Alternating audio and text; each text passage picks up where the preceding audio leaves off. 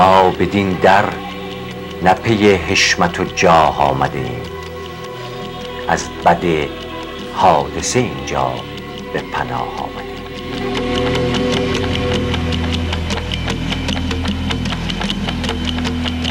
رهرو منزل عشقیم و ز سرحد عدم تا به اقلیم وجود این همه راه آمدیم. کوچ ایرانیان. بینندگان گرامی با درود فراوان به شما. بیننده برنامه کوچ ایرانیان هستید و داستان غمانگیز 37 روز نخست وزیری دکتر شاپور بختیار. داستانی که هنوز پس از گذشت 37 سال برای اکثر ما یک مسئله است.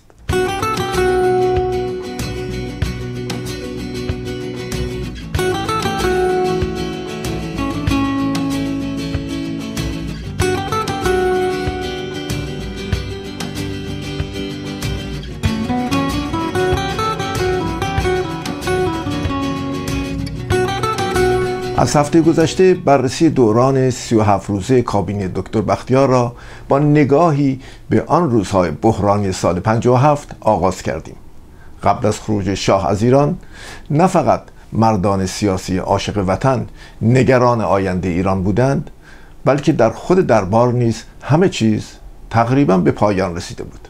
پادشاه عزم رفتن کرده بود و با بیماری که داشت تاب روانی مقابله با شورش و ترورهایی که از طرف گروه های مختلف چپ و اسلامی های تندرو آغاز شده بود را نداشت. شاه واقعا نگران وضع خودش بود.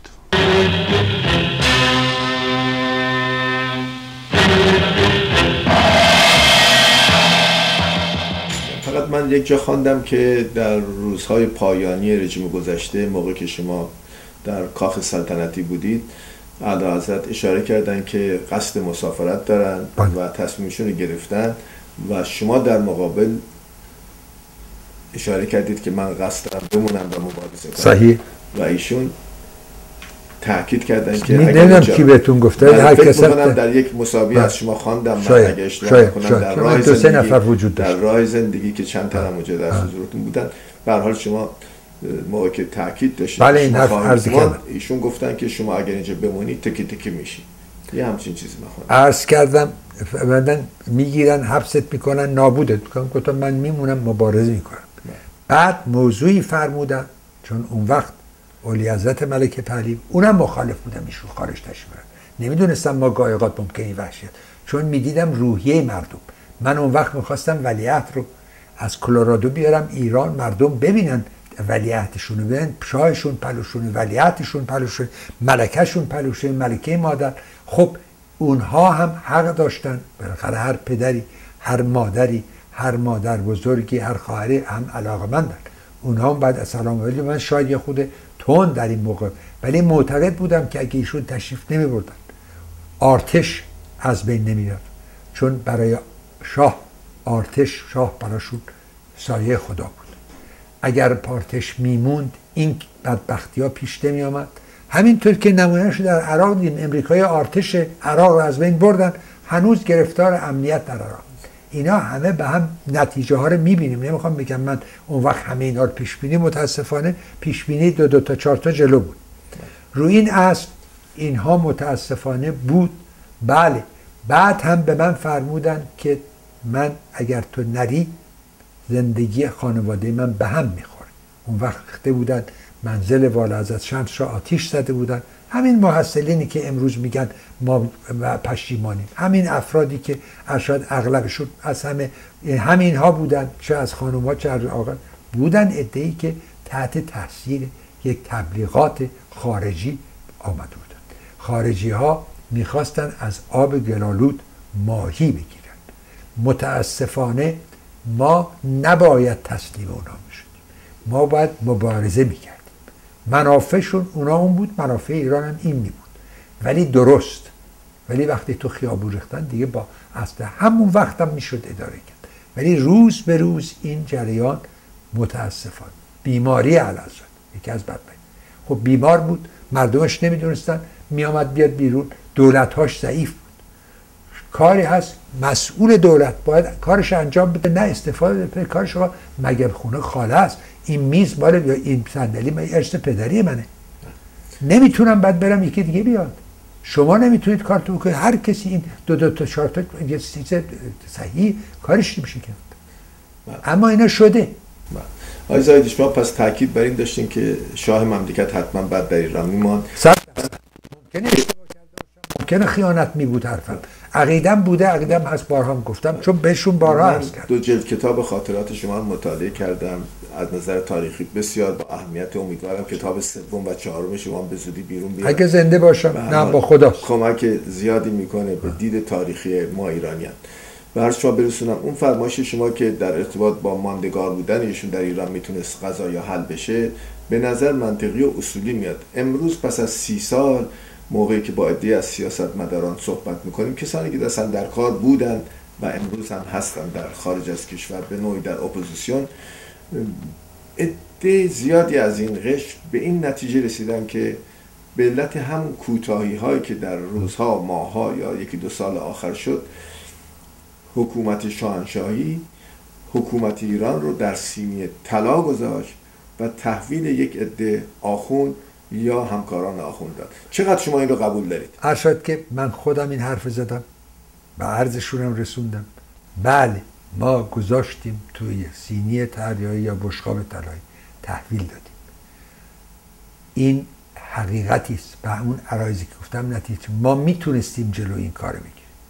اگر شرافتمندانه مردم رو گوش می‌دادیم اگر به دادشون می‌رسیدیم اگر کارهاشون رو انجام می‌دادیم در هر گروهی هم خوب و بد هست.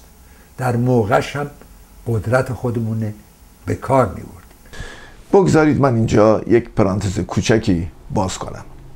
امروز پس از گذشت 37 سال از این دگرگونی تاریخی در کشور ما که عامل این کوچه بزرگ ایرانیان نیست شده است با بررسی های همه جانبه ما به خوبی می‌دانیم که حکومت اسلامی که از بپا خواستن ملت آزادیخواه ایران بهره گرفت و بر مسند قدرت نشست از آغاز با ترور و ارعاب و مخصوصا ارعاب آزاداندیشان و همچنین حکام رژیم گذشته و ارائه اسناد تقلبی مانند فرار دولت مردان با میلیاردها دلار و یا با استفاده از عکس‌های دست و پای شکسته بیماران بیمارستانی و منصوب کردن آنها به شکنجهگران رژیم گذشته و انواع مانورهای گوناگون و می توانید به آن اضافه کنید نوید نان و آب و برق و خانه مجانی و دیگر بخشش های واهی توانست طیف جهال جامعه را فریب داده و حکومت را به دست بگیرد. و امروز می بینید که رئیس قوه قضایی کشور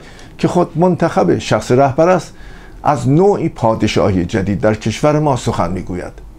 در جای دیگر رئیس بانک ملی یعنی آقای خاورانی را می‌بینید که لوح افتخار دریافت می‌کند و احیانا به خاطر اینکه بتواند با سه میلیارد دلار به خارج از کشور بگریزد این لوح را دریافت کردند بعد نیست بدانید با تحقیقی که عباس میلانی کرده کل ثروتی که محمد رضا شاه پهلوی و خانوادهاش از ایران خارج کردند قدری کمتر از سه میلیارد دلار است. و حالا می‌بینید فقط یکی از صدها یا هزاران فراریان رژیم کنونی خیلی بیشتر از او ثروت ملت را به حساب شخصی خودشان واریز می‌کنند این دلارهای نفتی نیز خود یکی از عوامل بازدارنده به نتیجه نرسیدن تلاش صد ساله ملت ایران در راه به دست آوردن آزادی شده است.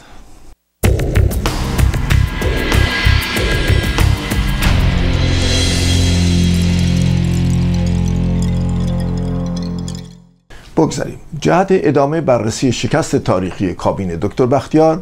یک بار دیگر به پاریس می رویم و در میان آپارتمان های کلمی شکل هومه این شهر می نشینیم پای صحبت وزیر اطلاعات این کابینه 37 روزه.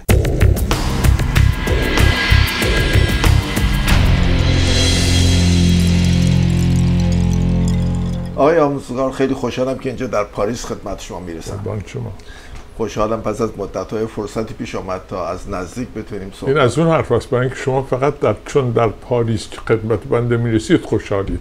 بله. جای دیگر خدمت می‌رسیدید نه خوشحال احیانا اونجا هم خوشحال می‌شدم. خواهش می‌کنم. بله همینطوره.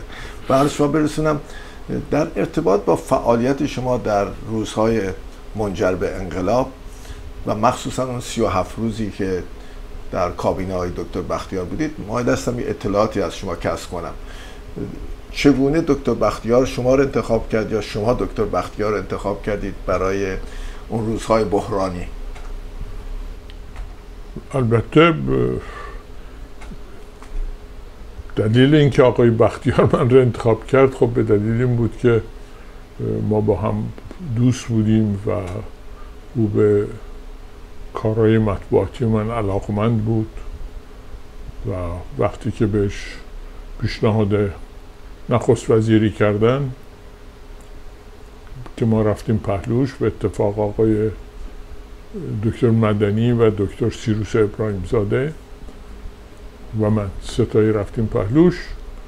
در اونجا به من گفتش که خب من دیگه بایستی بگم که بهتون گفتم که من روز سه شنبه قبل از اینکه حکم بگیرد آقای دکتر بختیار و آقای رزماران نهار منزل ما بودن. صحیح. و در اونجا سر نهار گفتش که به زودهایی خبرهایی خواهد شد.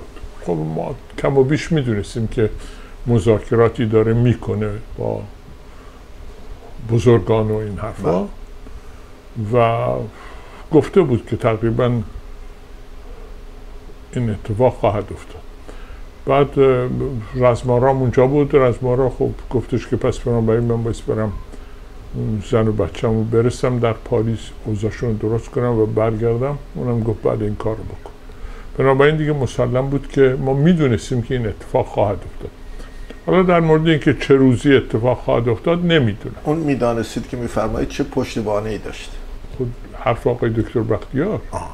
آقای دکتر بختیار گفته بود که ارز کردم ما می‌دونستیم که این دارن یه مذاکراتی می‌کنه این رو می‌دونستیم بله ببینید صحبت های عقب میره عقب میره باید من یه خود از جلوتر بگم نه چون پای صدیقی هم در میان بود به این جهت نه آقای صدیقی که خب یه نکته دیگری بود اون ماجرا من کاندیدای آقای دکتر آموزگار بودم برای ریاست تلویزیون و رادیو. و در همون موقع متاسفانه من دچار انفاکتوس شدم و رفتم به انگلستان. برای معالجه موقع رفتن آقای آموزگار به من گفتش که زودتر بیا برای اینکه بایستی کار رو شروع کنیم ببخشید نسبت شما با دکتر آموزگار اون اونها فارس هستن و من آذربایجانیه. بله. اون اهل استخبانات فارس. هم. ولی خب خیلی نزدیک بودیم با هم. بعد خب اونجا من مدتی بودم تا اینکه تو تلویزیون شنیدم که سینما رکس آتیش گرفته. دیگه فکر کردم که اخلاقا دیگه من باید برگردم اگر کاری از دستم برمیاد انجام بدم. و همین دلیل فورا آمدم ایران. آمدم ایران در این فاصله که من بیام به ایران آقای آموزگار استعفا داده بود. و خب رفتم پهلوش. ضمن صحبت هایی که می‌کردیم به من گفتش که حالا وقتشه که تو یک کاری بکنی. من گفتم چیکار؟ گفتش که این روشنفکرها رو جمع کن. جمع کن و ببینیم چیکار می‌تونیم بکنیم. الان مملکت در خطر است از این حرف. من اومدم بیرون و خب یکی از دوستان که از جمله؟ روش روشنفکر بودن از جمله آقای دکتر بختیار. بله. دعوت کردیم به ایران. آقای رزمارا بود آقای دکتر افراسیابی بود که همشهری شما الان در لس آنجلس آقای فضلو از صدر بود آقای شاپور نیا بود. یه گروهی بودن بله. گروه های اینها رو خب من جمع کردم از جمله آقای دکتر بختیار. بله. خب ما صحبت می‌کردیم و از این حرفا. طبیعی است که در این جور جمعیت ها به جز اینکه همه با هم هستن یه چند نفری هستن که بیشتر به هم نزدیک هستن. آقای دکتر بختیار و بنده و یکی دو نفر دیگه یه خورده نزدیکتر بودیم. بنابراین طبیعی بود که با ما از این صحبت ها می‌کرد که مشغول صحبت هست و مشغول مذاکره است اینها. و بالاخره عرض کردم همون سه شنبه نهار که بودن معلوم شد که صحبت ها به نتیجه رسید. ولی هنوز معلوم نبود که چه روزی این اتفاق خواهد افتاد. روز جمعه من رفته بودم به کرج منزل یکی از دوستانم. وقتی که برگشتم خونه آقای دکتر مدنی تلفن کرد گفت کجا بودی؟ از صبح دکتر بختیار دنبالت میگرده برای اینکه حکم رو گرفت و بنابراین دنبال تو بود که بری پهلوش و فلان این حرفا. و گفتم خب الان که دیگه جایی نمیشه برم گفت چرا؟ من میام و دنبال تو با هم بریم پهلو دکتر بختیار. آمد و ما سه نفری رفتیم پهلوی دکتر بختیار. اون موقع ضمن صحبت های اولیه‌ای که شده بود قرار بود که آقای دکتر مدنی وزارت کشور رو به داشته باشه. منم خب طبیعتا کاری که تخصصم بود کار مدیا بود و کار وزارت اطلاعات این حرفا. منتها به دلیل اینکه من انفاکتوس کرده بودم و یه خود ضعیف شده بودم قرار شد در اون همون شبی که رفتیم اونجا من وزیر مشاور بشم و شروع کنم به مذاکرات با احتساب کرده ها دلیل آقای دکتر بختیارم این بود که میگفتش که اولا تو دوست و رفیق زیاد داری ثانیا این که آرومی دیرتر عصبانی میشه به نظر من این کار برای تو راحت تره این کار بکن. ما خب طبیعی که قبول کردیم. درست روزی که می‌خواستیم بریم به برای معرفی کرد شدن پیش شاه ایشون که من رفتم صبح خونهشون که از اونجا بریم معرفی بشیم آقای دیدم آقای مشیری و آقای بختیار دوتایی دارن تو حیات اون ته یه پله هایی داشت که می‌رفت به زیر زمینشون جلو اونجا ایستادن. و دارن با هم صحبت می‌کنن. و تا من رسیدم من صدا کرد و گفتش که سر گاف تو خمره گیر کرده باید تو یه کاری بکن. گفتم چی شده؟ گفت اون آقایی که قرار بود که وزیر اطلاعات بشه ایشون فعلا نمی‌تونه. حالا البته من اسمش رو نمی‌برم. ظاهرا گفته بودن به آقای دکتر بختیار که ایشون احتمالا اعتیادی داره. به همین دلیل دکتر بختیار میگفتش که تا وقتی که این محرز بشه که داره یا نداره فعلا نمی‌تونیم که ایشون بیاریم تو باید قبول کنیم گفتم بسیار خوب ولی به این شرط که خیلی موقت باشه چون اول خودتون به من این پست رو پیشنهاد کردید و من گفتم که من تواناییشو ندارم. ولی الان دیگه خب وضعیت طوریست که بایستی قبول کرد. ماجرا رو بسیار خوب قبول می‌کنم ولی به شرطی که موقت باشه. گفت خیلی خوب من تمام تلاش می‌کنم که یک جانشین برای تو انتخاب کنم. گفتم تو حکم من بنویسید که من موقته.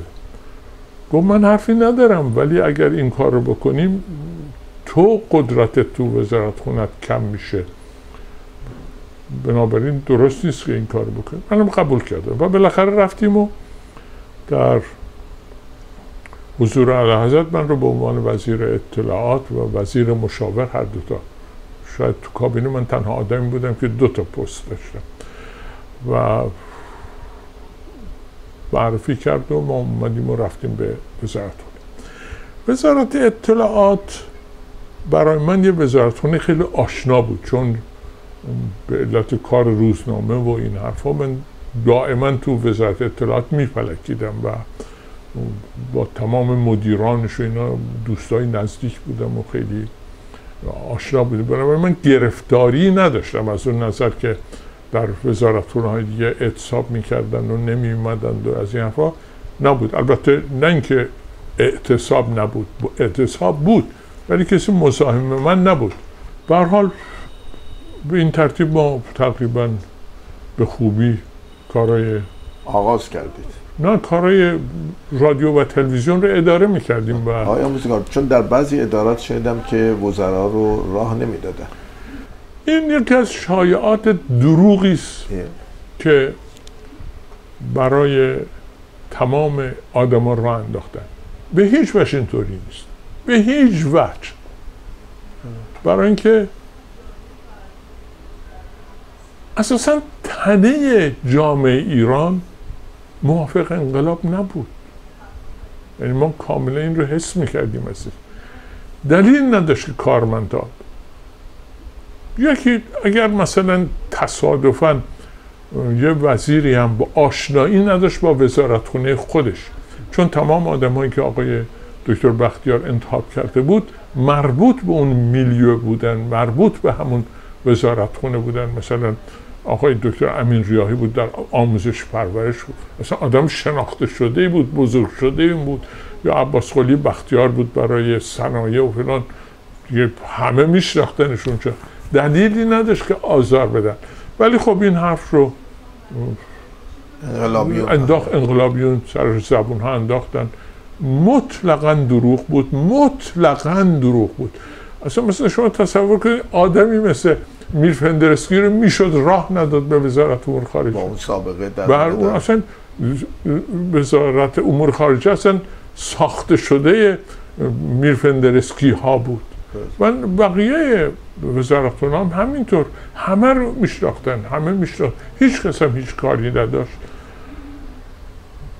به هر حال تر تمام وزارت ها اعتصاب بود در این تردیدی نیست. اعتصاب هم چیزی بود که بیشتر حالت مملکتی داشت مربوط به وزارت خونه نبود. ولی خب کارا روال خودش رو در حدی که می‌توانستیم انجام می‌دادیم. و البته در وزارت اطلاعاتی که من سرپرستی می‌کردم گرفتاری به اون معنا نبود به دلیل اینکه کار اصلی وزارت اطلاعات تا اون موقع سانسور مطبوعات بود.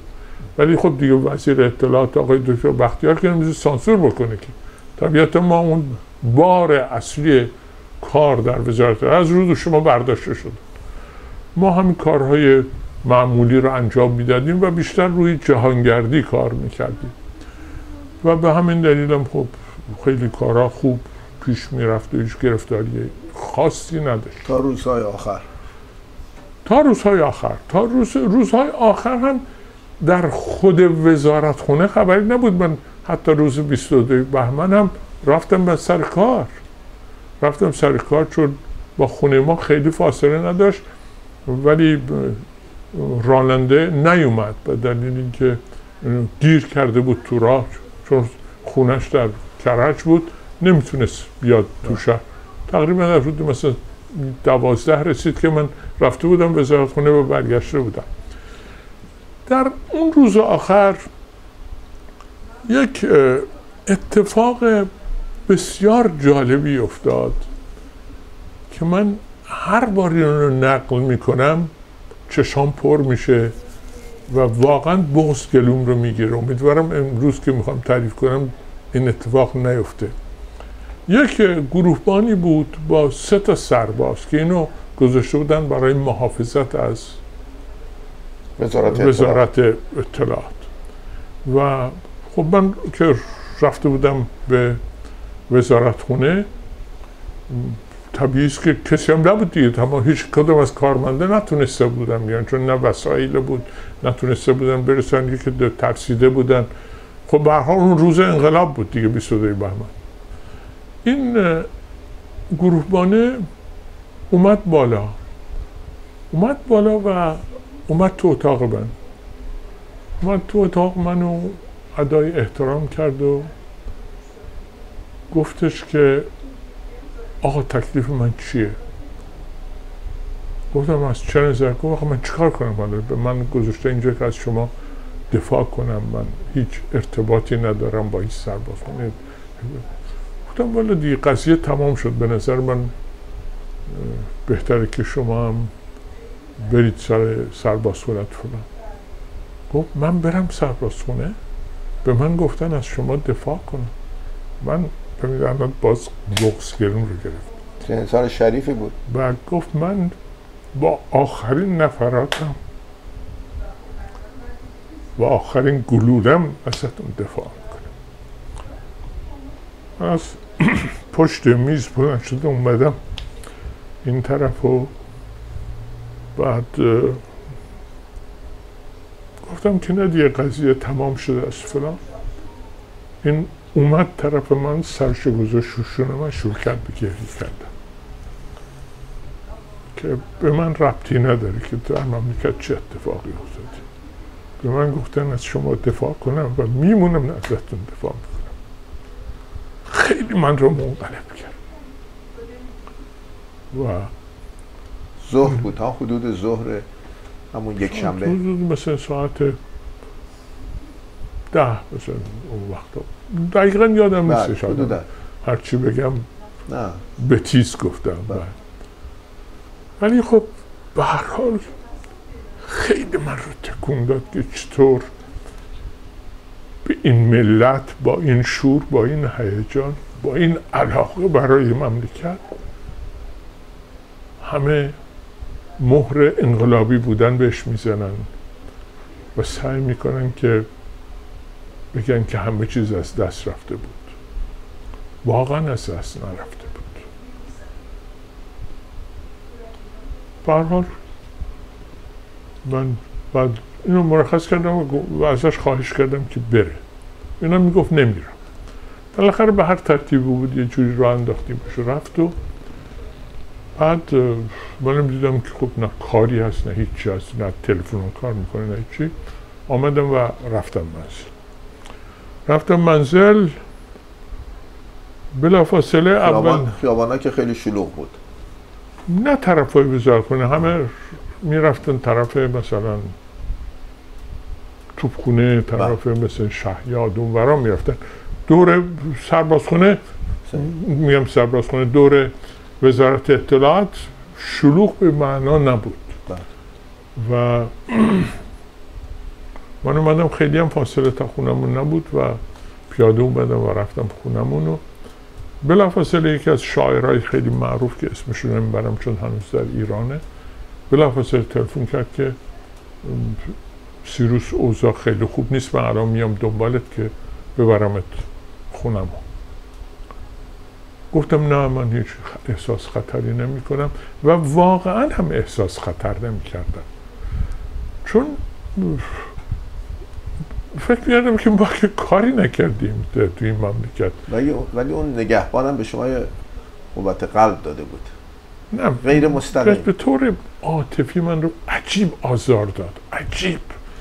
یعنی هر وقت من اینو تعریف می‌کنم ناراحت میشم. واقعا ناراحت میشم.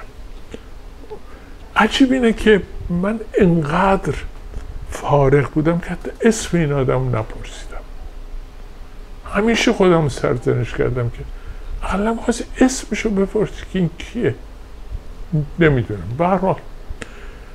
بعد بلافاصله یکی از دوستان روزنامه نویس تلفن کرد که آقا من دارم میام که تو رو ببرم خونم گفتم نه من جایی نمی‌خوام برم به خونمون هستم بلا اینجا یه اتفاق دیگری افتاد که واقعا تکون دهنده بود و نشون دهنده اینه که تمام این حرفا مزخرفه و واقعا مردم با انقلاب نبودن. جز یک عده‌ای که حالا حال انقلابی بودن و جیب دوخته بودن برای موفقیت و یا اینکه خیال می‌کردن که اتفاق خواهد افتاده اینها از این گوشه فرش یک تیکش خواهم برداشت. من موقعی که مدیر مجله تلاش بودم مجله تلاش مجله بود که مال آقای هویدا بود هویدا بله. صاحب امتیازش بود. من اداره می‌کردم این مجله. اون موقع یک کارگری بود که کارش عبارت از این بود که می‌رفت با گونی این مجله ها رو از چاپخونه می‌گرفت. می آورد به دفتر مجله. اونجا آدرس می‌زدن و باز با گونی می برد و میذاشت اون. یه دفعه دیدم این با وانتش اومد. وانتش اومد و در زد اومد تو که آقا بریم. نم کجا؟ گفت بریم خونه ما. برای چی؟ گفت بریم آقا بریم. من یک کارگرم هیچ کس به من زن نمی‌بره که شما خونه ما هستید. بریم خونه ما قایم بشید. من خبری نیست. گفت نه خبری باشد یا نه این ملت نمی‌دونن چیکار می‌کنن ممکن است الان نمی‌دونن. ولی هیچ کس زن نمی‌بره که خونه من خونه یک کارگر بدبخت جنوب شهر که آدم مهمی مثل شما قایم شده. بریم خود. شما باور نمی‌کنید که من و زنم با چه زحمتی تونستیم این آدم رو راضی کنیم که بره و من رو نبره خونش. خب اینا نشونه است که من آخه به این آدم چی کار کرده بودم؟ هیچ کار. بله. یک کارگر عادی بود در یک چاپخونه. صد نفر اونجا کار می‌کردن یک شم این بود. ولی این در اون لحظه احساس کرده بود که یه وظیفه رو دوششه دقیقا. این اون وچه تمایز یک انسان زنده مردمی با تفکر و شریف است با یه آدم دیگر. به هر حال اونجا که خب من نرفتم و همطور نشسته بودیم و فلان این حرف خب خواهرم آمد و خواهرم گفتش که حالا تو به هر حال هر کاری که بکنی معلوم نیست اوضاع چیه. بنابراین بریم خونه ما. در اینجا به دیدن معاون دکتر بختیار در کابین 37 روزه می رویم. محمد مشیری یزدی. بنده معموریتی داشتم در ایتالیا و امریکا و برگشتم ایران و گفتند که آقای بختیار دنبال تو میگرده بی خبر از اوضاع بودم. سال 1357 بله. بعد آقای دکتر اعتبار که بعدها داماد بختیار شد و می‌دونید بله. بله. عرض کنم ایشون هم برادر زن من بود صحیح عرض کنم تلفن زد که با بختیار در به در دنبال شما میگرده من رفتم منزلش و دیگم شلوغه بله. و پیداست که قرار نخست وزیر بشه گفت آقای مشیری چه, چه سمتی رو می‌خوان می‌خواید قبول بکنید در کابینه من؟ گفتم من می‌خوام نزدیک شما باشم. و مشورت کردیم معاونت شد. برای اینکه من هر روز سه چهار دفعه آقای بختیار رو در روز 22 بهمن 1357 که روز اینم قصه شنیدنی داره و طی این 37 روز چه وقایعی برای شما رخ داد؟ این 37 روز چگونه گذشت؟ خیلی خیلی قصه ها دارم آقا. عرض کنم حضورتون که ولی چیزی که جالبه که براتون بگم بعد از سقوط بختیار در روزنامه آیندگان نوشتند که در جلسه ای در اتاق معاون نخست وزیر بوده برای انجام کودتا بر علیه نظام. بر علیه نظام آخوندی. واقع غیر از این بود. جلسه ای بود در اتاق من با حضور فرماندار نظامی سپهبد رحیمی گفتم براتون. نخیر نه نگفتم. و آقای رئیس صدا سبک آقای چیز که گشرنش مقدم. مقدم و چند نفر دیگه. اون آقایی که خیلی آدم نجیبی بود و بله. بله حالا یادم نیست. ولی برای ایجاد یک تظاهراتی بود در تهران در تهران بشه علا رغم تظاهراتی که برای خمینی می‌شد. ولی من شخصا با این تظاهرات موافق نبودم. میگم می- می‌دونستم که عده زیادی نخواهند آمد. صحیح. آیون قهر کردند و رفتن پلو آقای بختیار. و آقای مشیری موافق نیست با این تظاهرات. ولی با گفت خود دانید می‌تونید تظاهرات بگید من من آقای بختیار تلفن کرد که من رفتم پلو و گفت که شما چرا مخالف هستید؟ گفتم ارزشی من نمی‌بینم برای این تظاهر ولی این تظاهرات انجام شد. ولی می‌خواستن از من پولی بگیرن از نخست وزیری. ولی من حاضر نشدم. و بختیارم قبول کرد که من پولی ندم و خرجش رو از جای دیگه سواکی این بله دو بار سه بار تظاهراتی شد. بله تظاهراتی شد و گفتم که ب- براتون شاید خصوصی عرض کردم حضورتون تظاهرات آمدن دم دفتر من و اون, رو اون موقع آقای بختیار رفته بود سر قبر مصدق مصدق السلطنه. و آقای آریانا وزیر کار اتاق من بود. گفتن از من خواستن که برم به تظاهرات جواب بدم آقای آریانا گفت من عوض شما میرم. رفت اونجا جیبش رو زدن. یعنی مردمی که اونجا بودن بله. جیبشون رو زدن. خب نیاز نیاز داشتن آقای بله. شریفی. این قضایای چیز جالب روز 22 بله بهمن. 21 و 22 خواستم بدونم. 22 21 آقای من 21 که همون جلسه بود در اتاق شما. نه نه نه نه نه. اون این جلسه خیلی قدیم تر بله، بله. یعنی بله. 15 روز جلوتر. ولی این جلسه که 21 میگم من دو سه نفر مهمان داشتم که در کنار اتاقم به اینا دعوت کرده بودم بیام. یه وقت آقای بختیار به من تلفن زد. و گفت که شما می‌تونید بیایید اینجا. گفتم با کمال نهارتون اینجا بخورید. بله. من از آقایون عذر خواستم. گفت- گفتم شما نهارتون بخورید. من با آقای نخست وزیر خواستنم. رفتم. دیدم پریشان احوال احساس کردم آقای بختی. گفت که حکومت نظامی رو اعلام کردم با آقای رحیمی و عرض کنم حضورتون که بدبختانه خمینی گفته زیر بار اه، حکومت نظامی نه. نرید و مردم بیایید بیرون و می‌خواستم با, با کسی با, با تو صحبت بکنم و گفتم حالا بعضی ها معتقدند که آقای بختیار گفته بوده ادهی رو بگیرن. به این جمله خمینی رو. برنامه ریزی شده بود. بله. برنامه ریزی. من خبری از این کار ندارم. اطلاعی ندارم.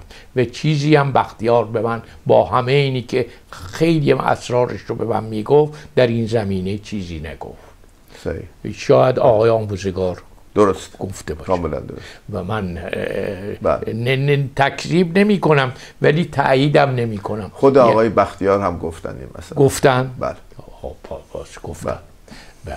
خب عرض- روز 22 شما چگونه گذشت؟ بو- بیست و دوم تعطیل بود نخست وزیری. بله. خانم کلانتری اونجا حضور داشت و سه چهار نفر اون سرهنگی که همشهری بختیار و خونخیش بختیار بله. بود و من از اتاقم که قسمت ساختمان نوساز نخست وزیری بود آمدم پهلو بختیار. و در این حیث و بیس این جالبه خیلی. سرهنگ نیلی یا سرگرد نیلی درجهش نمی‌دونم. آمد با احترامی به من گفت که آقای مشیری مطلبی دارم. با عرض آقای نخست وزیر برسون گفتم چیه گفت که مردم دارن هجوم میارن. روز ساعت ده روز بیست و دوم بهمن. دارن هجوم میارن به نخست وزیر. گفتم شما مقدار تواناییتون در قبال این برخورد چقدریه؟ گفت سه چهار تا سرباز داریم و اینا هم تفنگاشون قابل اطمینان نیست. به خود این اشخاص هم قابل اطمینان نیستن. بررسی این شکست تاریخی را در هفته های آینده نیز ادامه خواهیم داد. ما می‌دانیم گره کور این واقعه تاریخی که منجر به روی کار آمدن ملایان در کشور ما شد. همان اقدام مشکوک اعلان بیطرفی ارتش در روز 22 بهمن سال 57 است. در این رابطه سند جدیدی نیز به دست آمده که به باور من سرنخ تمام این نابسامانی هاست. بگذارید آرام آرام به آن هم خواهیم رسید و شاهد خواهیم بود که کاخ سفید چگونه خانه کاهگلی تازه رتوش شده ما را در سال 57 ویران کرد. تا هفته آینده. در نگاه به کوچ ایرانیان با ما همراه باشید تا روزی با هم آن را به پایان برسانیم.